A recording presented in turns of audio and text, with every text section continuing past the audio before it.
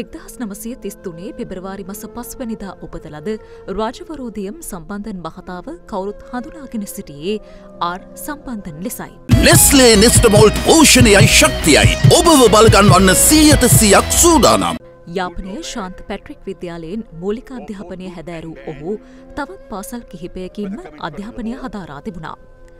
වෘතියෙන් නීතිඥවරයෙක් වූ ඒ මහතා දෙමළ එක්සත් විමුක්ති පෙරමුණ නියෝජනය කරමින් එක්දහස් නමසය හැත්තෑ හත වසරේ පැවති මහමැතිවරණයෙන් ත්‍රිකුණාමලය දිස්ත්‍රික්කය නියෝජනය කරමින් පළමුවරට පාර්ලිමේන්තු වරම් දිනා ගත්තා. ඒ අනුව එක්දහස් නමසය හැත්තෑ හතේ සිට එක්දහස් නමසය අසූ තුන දක්වාත් එක්දහස් නමසය අනූ හතේ සිට දෙදහස දක්වාත් දෙදහස් එකේ සිට මියනතුරොත් ඔහු පාර්ලිමේන්තු මන්ත්‍රීවරයෙකු ලෙස කටයුතු කළා.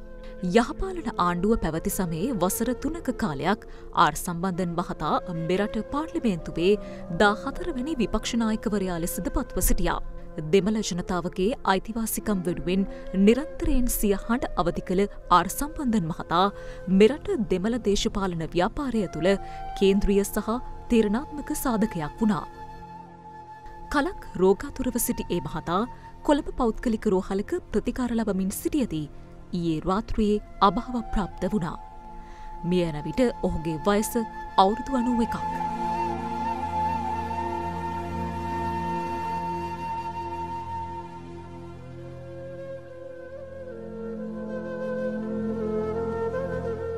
සම්බන්ධන් මහතාගේ දේහය බොරල්ලේ පිහිටි පෞද්ගලික මල්ශාලාවක් වෙත අදවතැසන රැගෙන ගියා.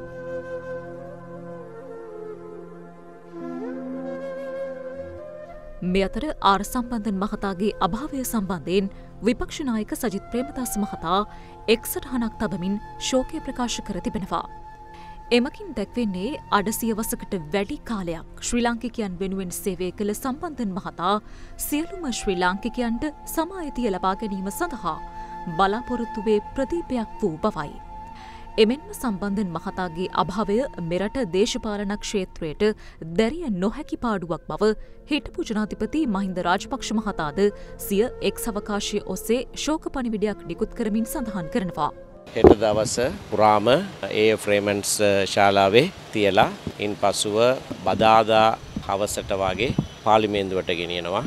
ඊට පස්සේ ත්‍රික්නාමලයට තුමාගේ ඩිස්ට්‍රික්ට් වන ත්‍රික්නාමලයට uh, දේගේ අපි ගෙනියනවා. කවදාද අන්තිම වැඩ කටයුතු කරන්න කියලා තාම තීරණය කරලා නැහැ. ඉරිදා දවස කියලා තමයි දැනට හිතන්නේ. අද දෙරන YouTube නාලිකාව YouTube අද දෙරන දැන්ම සබස්ක්‍රයිබ් කරන්න.